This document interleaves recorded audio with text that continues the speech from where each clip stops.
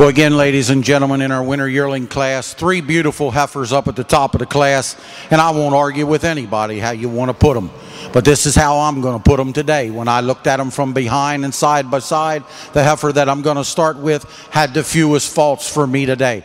She's got that shoot to the moon front end. When you get behind her, she's got that chiseled shoulder. She's got the fore rib, the heart, the feet, the legs, the breed character. I grant the second prize heifer a little more about the uh, muzzle and the jaw than this first prize heifer. But when you got rumps on all three heifers like you got here, the style and the balance like they got, they're three super, super heifers. But the heifer to head the class has that all put together for me to go to the head today. The heifer in second, I love her breed character. I like her style. I like her quality. I want to just uh, tighten her up a bit right there in that chine reason right behind that shoulder. But again, she's got that super flatness of bone. She's got that super style, and I give her the advantage today in a little more fore-ribbed and heart in a beautiful, balanced, beautiful uh, quality heifer in third. Three over four just on that style and balance all the way through. I love the fourth prize heifer. She just lacks that tightness through the shoulder. She tends to dip a little bit and cock that tail head up, but a beautiful balanced heifer to boot.